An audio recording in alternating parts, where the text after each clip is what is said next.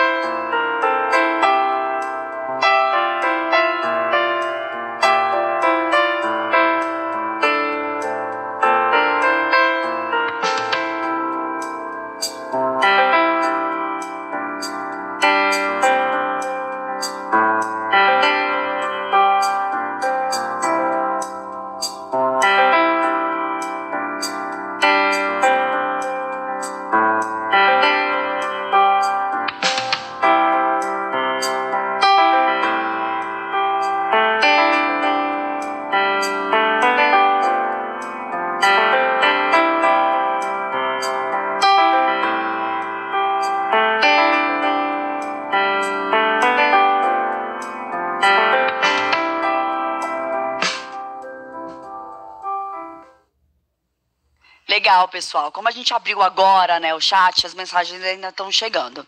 Mas eu já tenho algumas aqui.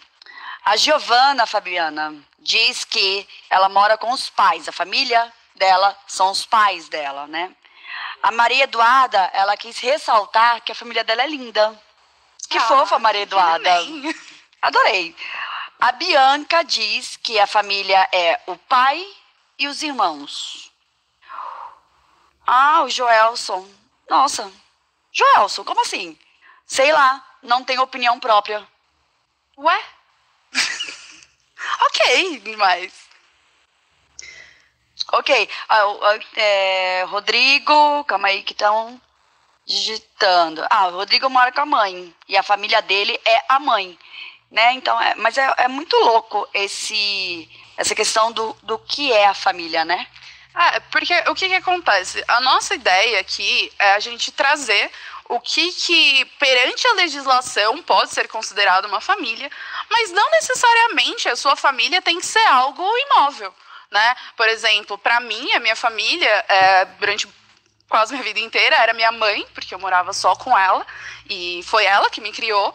E ao mesmo tempo eu tinha meus tios, que foram pessoas que para mim participaram tanto da minha criação, né, meu tio, meus tios e minha prima participaram tanto da minha criação que para mim meu núcleo familiar sempre foram ali, né, os quatro, né, minha mãe, minha prima e meus tios. Então, para mim os meus tios viraram um núcleo familiar próximo.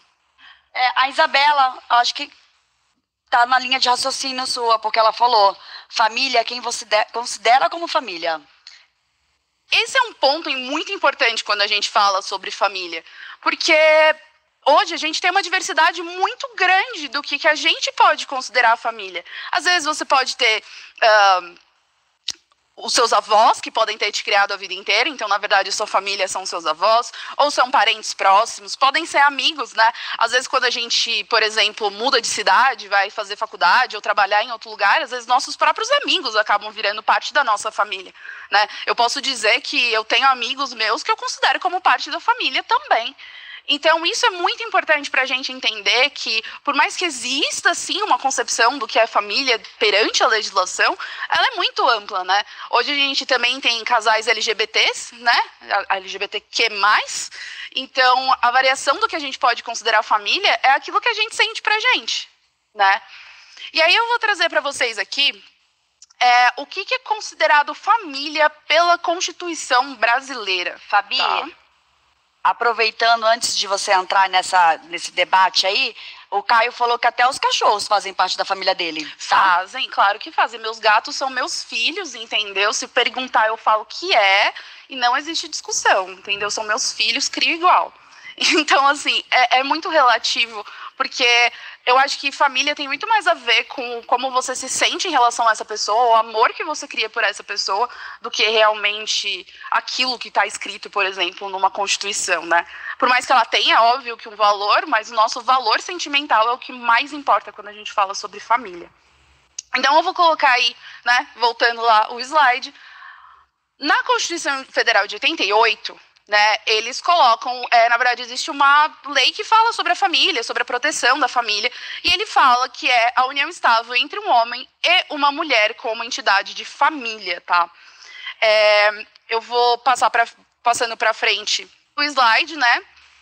Ele coloca também que essa entidade familiar, ela também pode ser considerada por qualquer é, responsável e os seus descendentes. Então, por exemplo, se você teve só sua mãe, como eu tive apenas a minha mãe, é, o meu núcleo familiar sou eu, ela e os meus descendentes e assim sucessivamente, tá?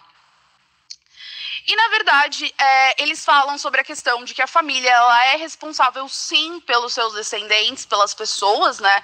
É, nessa legislação, por exemplo, ela fala sobre a, o artigo 8 por exemplo, o oitavo vai aparecer aí para vocês, ele fala também que a família ela tem a responsabilidade de cuidar das pessoas, coibir a violência doméstica, né, não só em relação a homem e mulher, mas também em relação aos filhos e às outras pessoas, né, aos avós e assim sucessivamente.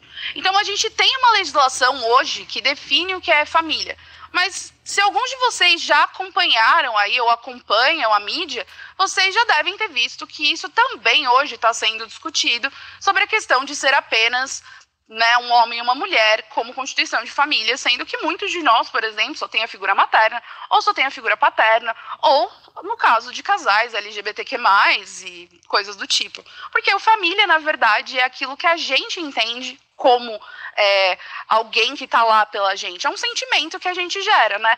Será que alguns de vocês pode até responder aí no chat, vou até pedir, se puder abrir o chat aí, se vocês também não têm outras pessoas que não compartilham, vamos dizer, o mesmo sangue que você, mas que você também considera como a sua família.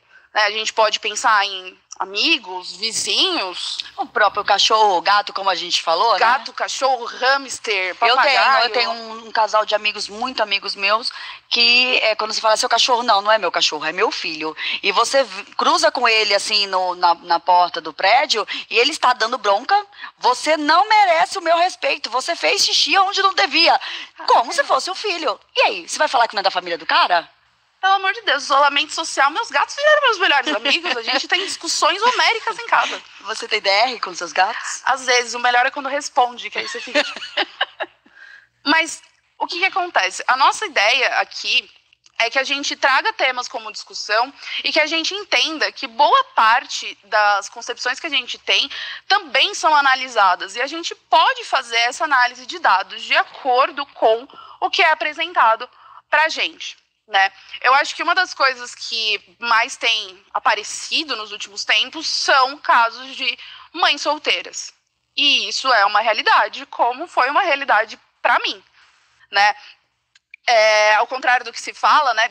Não do que se fala, né? Porque hoje muita coisa mudou, mas o que se falava, falavam, ah, porque mãe solteira, o filho vai ser Nossa Senhora, tem que ter uma figura paterna, um homem lá para criar.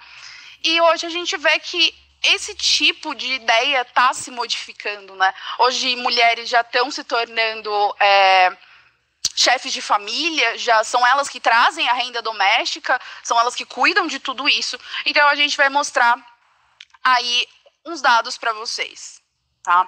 Então, aqui o que a gente fala é sobre famílias compostas por mães solteiras, né, que elas aumentaram de 2000 até 2005 mas que ao mesmo tempo a quantidade de filhos por mulher diminuiu. Então antes a gente tinha aí 2,38, né? Claro, não é uma criança cortada no meio, mas na média ali era entre dois, três filhos.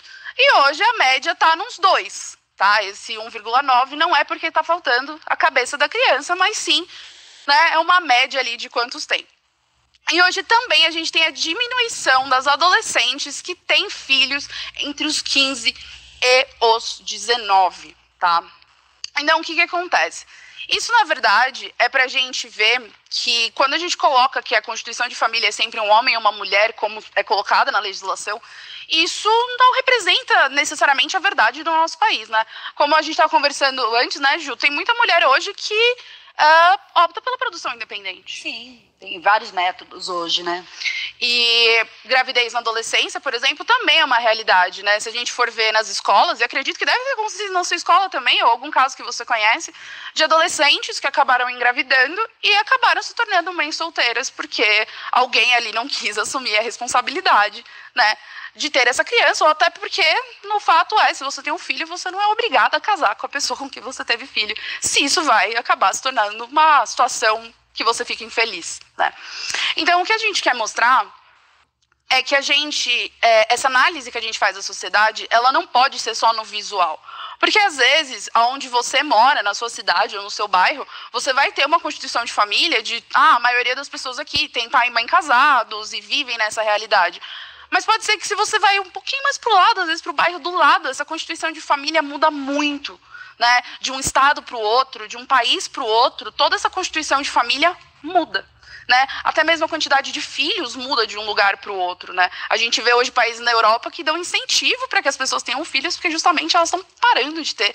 E ao mesmo tempo a gente tem outros países que a quantidade de crianças continua sendo, né? o nascimento continua sendo muito grande.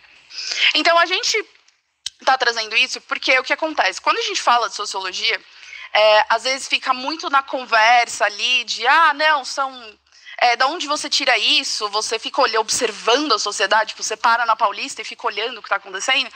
Na verdade, não. A gente usa dados e esses dados são muito importantes para a gente entender a nossa realidade. Porque justamente quando a gente vive em algum lugar, a gente tem um nicho muito fechado, né? Eu vivo no meu bairro, então eu conheço como funciona o meu bairro e a minha cidade, mas não necessariamente quer dizer que essa seja a mesma realidade que você enfrenta no seu bairro e na sua cidade. Tá? Então, essa é uma tabela, por exemplo, que mostra esses tipos de dados. E aí, eu vou passar para vocês agora uma tabela, na verdade, é um infográfico, tá? Porque uma das coisas interessantes é toda tabela gera um gráfico, tá? E o gráfico, na verdade, ele é uma opção mais visual. Então aí a gente tem os arranjos familiares, né? Com um casal com filhos que tem homens como referência, que tem caído, né, de 2005 a 2015. Né, essa referência que a gente fala é que quando ele fala sobre chefe de família, sobre quem é o referencial dele familiar, é um homem. Né? A gente vê que o número de mulheres com filho que não são casadas aumentou, tá? O número de casal com filhos com mulher como referência está aumentando. E o número de homens que não são casados e têm filho também aumentou um pouquinho, mas ali é bem pouquinho, não faz nem tanto assim. Não é uma diferença tão grande. Então, o que, que acontece? Às vezes, quando a gente está vendo a TV, esses dados, eles são numa tabela, por exemplo. Se você for no site do IBGE, que é da onde a gente tirou esses dados, e a maioria dos dados da população brasileira, do seu estado, da sua cidade, você vai encontrar no IBGE uh, em relação a quantidade de pessoas, é, o relacionamento que tem, quantidade de filhos e assim sucessivamente, você vai encontrar lá em tabelas. Só que às vezes a tabela é uma coisa muito difícil você ficar vendo, porque você vai ver um monte de número e tudo mais, então existe a facilitação dessa tabela para você. E aí o que, que acontece com essa facilitação? Ela normalmente ela vai acontecer ou por transformar esses números em porcentagens, então, ah, 40% da população. Porque aí ninguém vai ficar falando, não, porque 1,6 bilhões de pessoas são não sei o quê. Ninguém vai fazer isso. Então, normalmente é transformado em uma porcentagem e é apresentado num gráfico, porque é muito claro para a gente que o visual é muito mais claro do que a gente ficar lendo números. Né? Porque é muito mais instintivo, por exemplo, quando a gente vê aquele gráfico de setores, vulgarmente conhecido como gráfico de pizza. Quando a gente olha aquele gráfico de pizza, você às vezes nem precisa ler os números, né? A própria distribuição lá das cores já faz com que você tenha uma noção visual daquilo. E quando você apresenta uma tabela, você tem que ficar caçando as informações na tabela, né? O que é claro, se você já tem um costume de fazer isso, é muito mais fácil.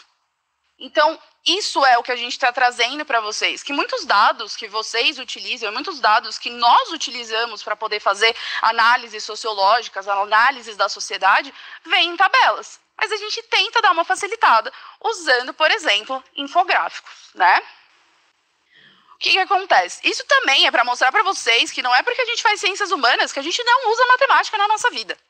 Né? Muitas vezes, quando eu estou dando aula de, de, sociologia, a galera fala, ai, não, porque é matemática. Eu falo, gente, matemática está no universo. Você precisa prestar aquela atenção naquela aula de porcentagem, de gráfico, porque você não vai fugir delas. E não importa o que você fizer. Por exemplo, temos a Ju aqui, que é de educação física, e utilizamos bastante tabelas, gráficos, análise de jogo, análise, tática, análise tática, né? Quando aparece lá no jogo de futebol falando ficou tantos por cento com a bola e com a posse de bola. E aí? Então, assim, Sejam bem-vindos ao mundo da matemática. todos nós estamos no mesmo barco, né?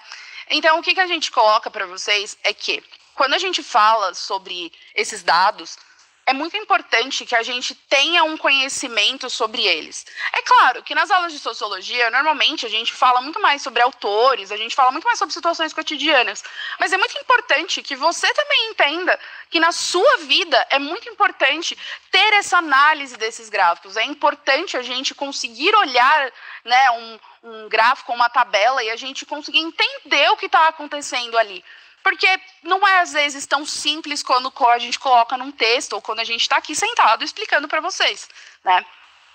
Então, assim, e isso a gente também, uma coisa que eu quis trazer para vocês é que talvez ter esse pensamento de que gráficos e tabelas são muito úteis, na verdade, para fazer uh, uma análise da, de onde você vive, que a gente, eu trouxe aqui um exemplo, né, de uma de uma pesquisa que a gente fez né, na escola Almeida Júnior, né, eu, na época, eu era coordenadora da escola, né? Fiz com a minha amiga Patrícia, vice-diretora, que também me deixou usar esse slide, porque ela é apenas uma pessoa maravilhosa.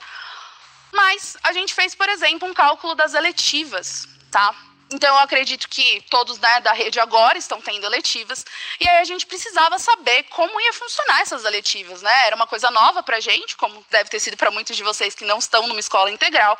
E a gente falou, meu, como a gente vai descobrir isso? Né? Então a gente fez uma pesquisa, mas como a gente consegue fazer com que essa pesquisa fique muito mais fácil da gente entender o que os alunos querem? Então aqui a gente tem é, um gráfico falando sobre quantas pessoas de cada sala responderam. Né, a essa pesquisa. Então a gente conseguiu também ter uma noção maior de quem foram essas pessoas e quais salas a gente precisava pegar mais no pé para que eles respondessem a pesquisa, né? Assim como a gente colocou quais eletivas eles queriam né, cursar. É claro, os nomes são apenas maravilhosos, porque eu e os professores fomos muito criativos na hora de gerar esses nomes. porque, né? Criatividade. Mas a gente conseguiu, por exemplo, ver, a gente tinha uma noção de quais eram as eletivas que os alunos queriam. Mas a gente não sabia exatamente é, quanto cada um queria. Então, a gente, por exemplo, a princípio tinha distribuído igualmente as eletivas. Depois de fazer essa pesquisa, a gente descobriu que a gente teria que abrir mais uma sala de educação financeira, porque o interesse era bem maior do que a gente acreditava que seria. Então, isso é um exemplo prático dentro da escola, tá? Mas isso pode ser feito em qualquer lugar. Né? Às vezes, se você está querendo, você tem um problema na sua escola que você quer resolver, um problema na sua escola que você gostaria de, de ver o que as pessoas querem mudar, ou coisa do tipo. E eu estou falando de escola, mas isso também pode significar a sua comunidade, né? o lugar onde você mora, a sua cidade. Às vezes é muito mais visual e é muito mais fácil você tirar uma noção de alguma coisa ou você é, confirmar algo se você tem dados mais sólidos. Né? Se você consegue ver isso no número. Porque às vezes, por exemplo, a gente está aqui no estúdio e tem um monte de gente aqui. E aí eu e a Ju, a gente acha que o problema é o ar-condicionado. Tá? Tô chutando, mentira, gente, o problema não está no ar-condicionado. Mas assim, a gente acha que o problema é o ar-condicionado. E a gente fala, a gente tem que mudar o ar-condicionado, porque não tem condições. Só que aí, quando a gente faz uma pesquisa com todo mundo aqui, eles acham que o problema não é o ar-condicionado, o problema daqui é a porta que está aberta, ou é, sei lá, a luz que está muito quente. Então, isso também faz com que a gente veja a opinião das outras pessoas e tenha uma noção melhor de quem está vendo o que sem ser uma visão só nossa. Deu para entender? Se quiser, pode abrir o chat para se eles tiverem dúvidas ou alguma coisa. Fabi, tem já umas colocações aqui que, a gente acabou não comentando a respeito ainda do que é a família deles. Uhum. E tem um que citou que é o padrasto, que a família dele é o padrasto, mas eu gostaria até de colocar a Ketuli, Ketuli, sei lá, alguma coisa assim. Se eu falei seu nome errado, me desculpe. Gostou muito que a professora mencionou a comunidade LGBT. Então, na verdade, a gente não está aqui para escolher um ou outro, né? É englobar todo mundo, somos todos. Porque eu acho que a questão de quando a gente fala sobre a realidade, não pode ser a realidade que é para mim. Porque se for uma realidade para mim, por exemplo, não seria uma família onde você tem um pai e uma mãe casados. Isso não é a minha realidade. Estou falando de mim, Fabiana. Tá. E dizer que uma família hoje é só um pai e uma mãe, talvez não seja a realidade para muita gente. Então, por mais que exista ali uma constatação do que é família, tanto que vocês veem aí, né? Quando a gente viu aquelas, aqueles infográficos e a gente viu as tabelas, normalmente os dados são sempre vinculados a homens, mulheres e ah, mães com, é, sem cônjuge, mas para você ter filho, necessariamente você precisa ser casado? Será que às vezes, por exemplo, é o, o quem citou mesmo o padrasto? O Kaique. O Kaique citou o padrasto. Às vezes, esse padrasto não é nem um padrasto no papel, né? Não estou dizendo o seu caso, Kaique, não sei. Mas às vezes existem famílias onde você tem lá o seu padrasto e ele não necessariamente é casado com a sua mãe né, no papel, né, com todo, toda essa questão. Às vezes a gente também tem pessoas, né, que são importantes e exercem papéis na nossa vida, como às vezes um amigo do uma amiga do seu pai ou um amigo do seu pai pode ter também um papel na sua vida como o outro pai, né? É, isso é legal. E aí o Ian, entrando nessa história, o Ian pergunta: então uma família pode ser qualquer coisa?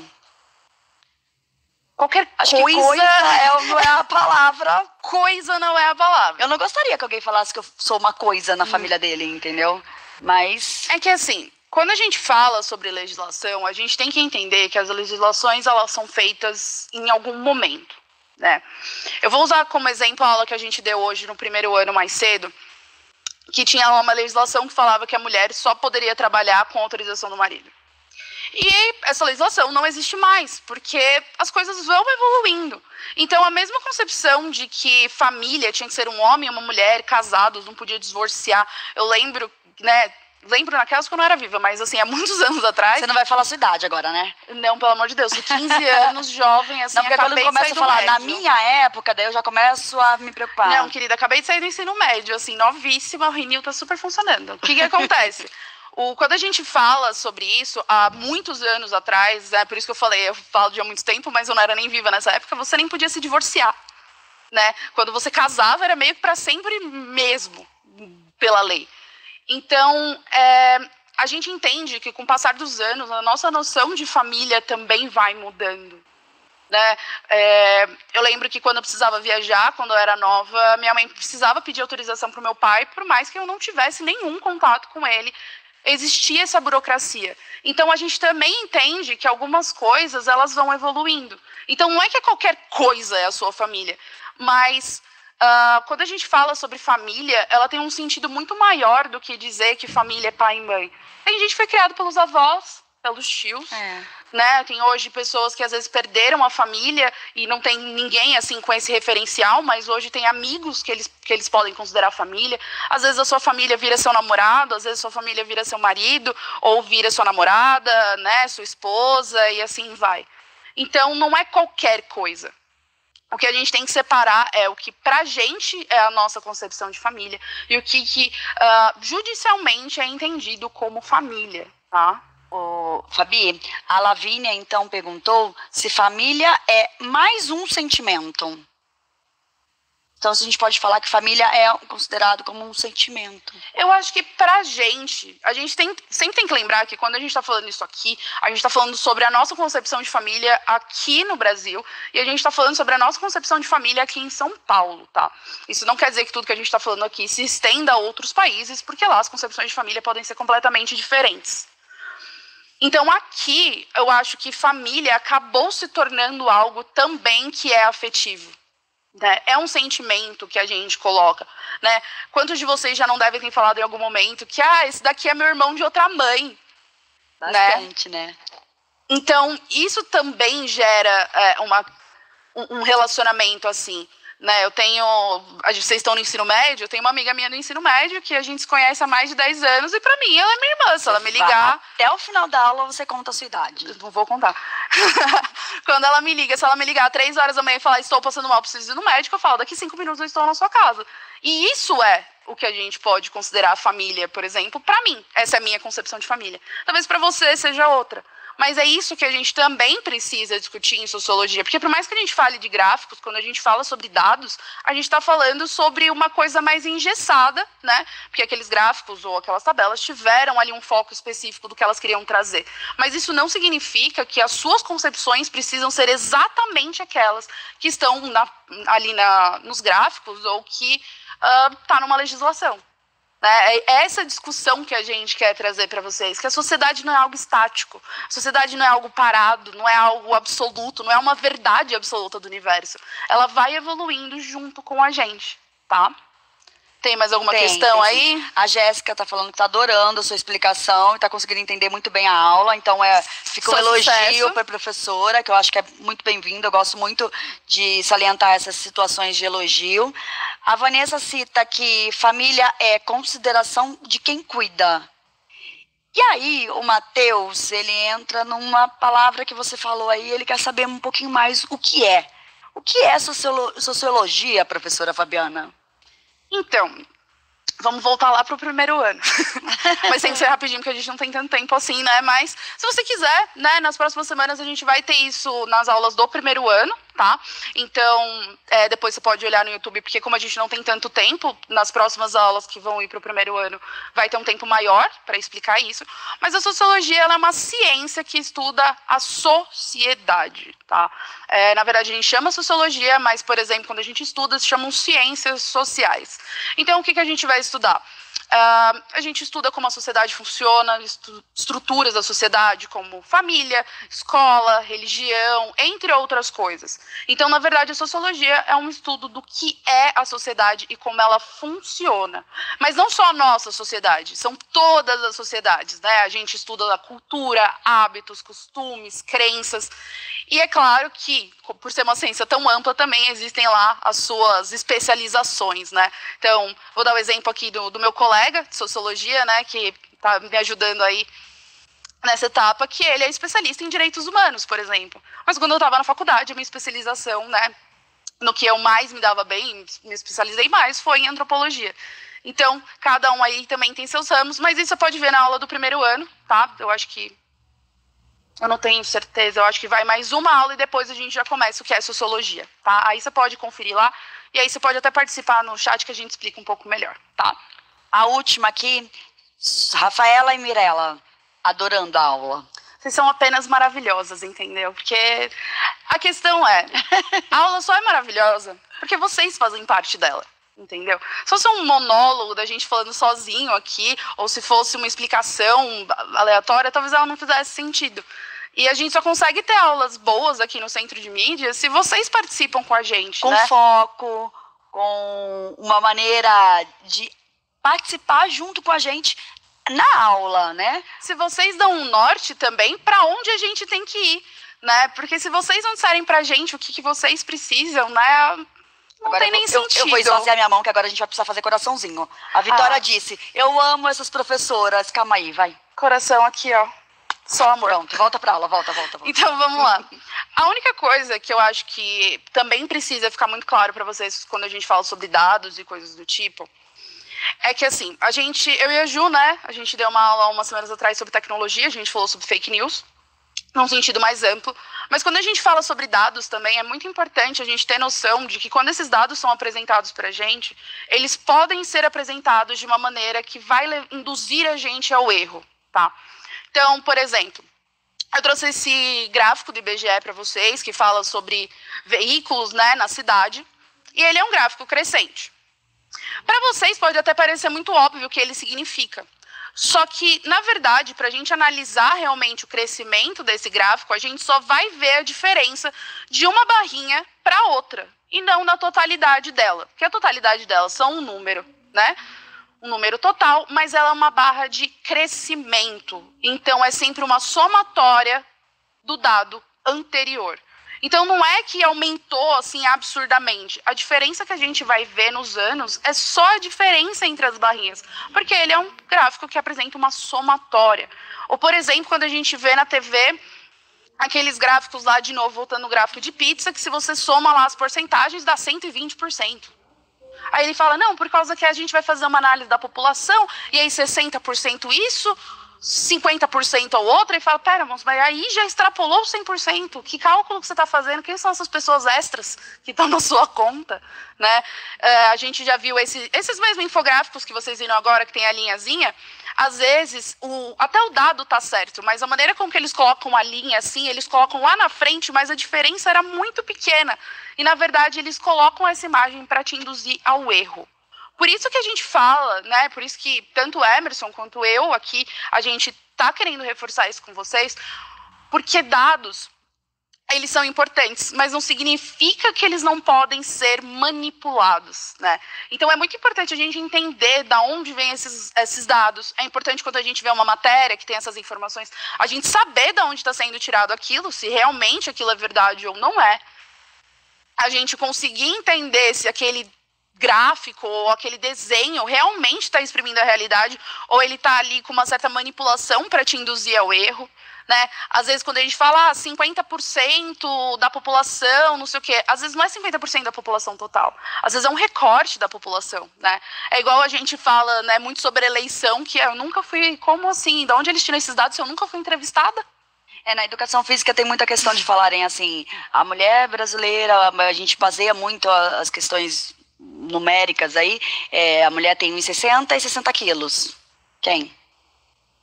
Quantas? Não sei, mas eu não estou nesse grupo. Ah, eu, lógico, eu tô, tô bem abaixo, aliás. sou apenas maravilhosa do jeito que sou, e é isso. Então, assim, a gente também tem que entender que, às vezes, esses números, eles já vêm recortados.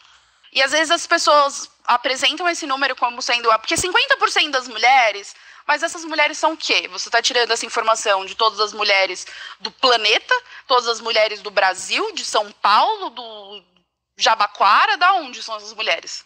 Né? Então, isso é uma coisa que a gente traz para vocês, porque e, e, a questão do pensamento crítico é porque dados são muito importantes, realmente. Se a gente não tiver dados, a gente não tem como fazer uma análise, porque é, realmente a gente precisa saber quem são essas pessoas, o que está acontecendo, né? Se eu não tiver, por exemplo, um órgão como o IBGE para poder ir lá em Macapá fazer uma pesquisa, é, eu não vou ter dados, porque eu não vou sair daqui para ir para Macapá e pesquisar todas as pessoas que moram em Macapá.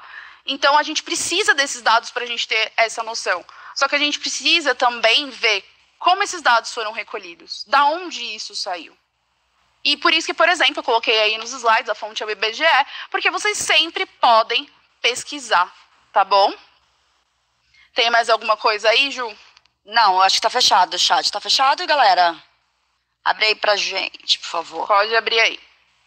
Então, assim, quando a gente coloca isso para vocês, é, reforçando, é sempre para vocês entenderem que, indiferente do que vocês observarem, vocês sempre têm que ter o pensamento crítico de olhar e falar: será que isso é verdade? A gente não precisa concordar e ter certeza que tudo que passa na TV, ou que está no Facebook, ou no WhatsApp, é uma verdade absoluta. Né? E talvez esses números também sirvam para que a gente conheça melhor aonde a gente vive. Porque, como eu falei antes, eu moro num bairro de São Paulo, da cidade de São Paulo, e para mim, eu conheço meu bairro, mas eu não posso dizer que eu conheço todos os bairros de São Paulo, eu não conheço todas as estruturas que existem em São Paulo. E às vezes a gente precisa recorrer essas informações para a gente entender melhor como funciona o resto de São Paulo, do Brasil, do mundo e, e afins, tá? Tem alguma dúvida aí ou tá só alegria, só sucesso? Só alegria, só sucesso. Cadê vocês, povo? Abandonaram a gente. Estou me sentindo abandonada, agora chateada. Não, para, volta, calma, calma. Olha, pronto. Só foi falar. Gustavo, mostra o último slide, por favor. Qual o último Esse aí, eu acho que avalie. O avalie ou o do gráfico? E Gustavo, e agora? Avalie o gráfico? Eu acho que é o avalie, né? Que tem umas perguntinhas lá. Ah, é, mas o avalie, né, aí a gente já vai deixar no final pra, pra encerrar. É, por enquanto o pessoal não tá de mal da gente, não quer mais falar Ou, tá, conosco. não, não, ou nossa aula está apenas sensacional, está tudo muito claro, não existem mais dúvidas nesse país, entendeu? Então, assim, é, a gente. Mas é isso mesmo! Olha, estão dizendo que adoraram a aula, que a aula está demais. É um só sucesso. Ninguém- olha, a aula foi tão perfeita que ninguém tem nem dúvidas. Nem dúvidas, olha que explicação maravilhosa, entendeu? Mereço uma estrelinha dourada, tá? Eu quero uma estrelinha dourada no final.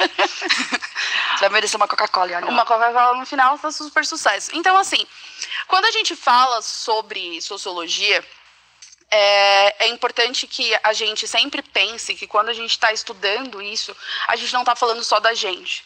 Então, é sempre importante a gente olhar o outro, olhar ao nosso redor e olhar tudo que a gente tem à nossa volta. Porque, é, é como eu falei na aula anterior, né, do, do primeiro ano, eu era uma pessoa quando eu nasci, eu era uma virei, era outra pessoa quando eu era adolescente. Hoje eu sou outra pessoa espero que daqui 10 anos eu seja outra pessoa, porque conviver com pessoas e aprender sobre elas faz com que a gente em si acabe se tornando pessoas melhores, né? Ninguém nasce uma fada sensata com conhecimento da humanidade.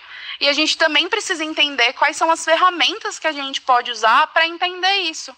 Né? A gente não, não tira as coisas da cartola ou tira coisas do que a gente acha tudo que a gente faz é baseado em dados, né? Quando a galera fala, ah, eu quero fazer ciências humanas porque eu não preciso fazer conta. Eu quero fazer ciências humanas porque eu quero ler livro o resto da minha vida. Não é bem assim que funciona. Quero fazer educação física pra jogar bola o tempo inteiro. Né? Existe um método e existe toda uma estrutura por trás que traz pra gente esses dados. Inclusive na TV, todos é, quando você é jornalista, né?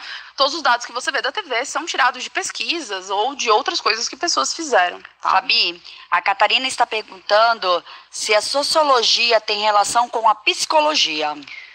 Ela tem, tá? Por causa que o que acontece? Alguns problemas, né, psicológicos ou algumas questões psicológicas, elas derivam da, so da sociedade.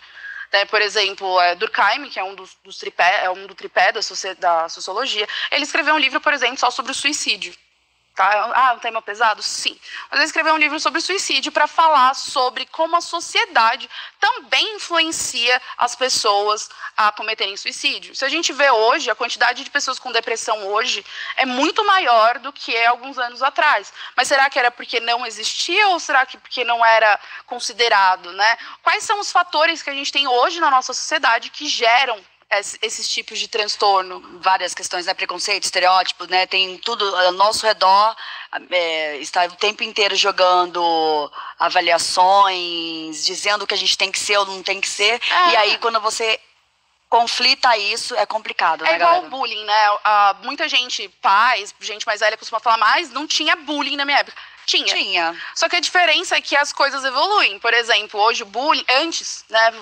O bullying era dentro, você sofria bullying dentro da escola, não existia internet, não existia celular, não existia nada. Ficava então, ali, morria ali, morri, acabou. morria ali, você ia embora para sua casa, as únicas pessoas que sabiam do bullying era quem estava dentro da sua escola. E hoje isso já se estende para muitos lugares, né? Você sofre bullying na escola, isso pode aparecer na internet, né? Gerando cyberbullying.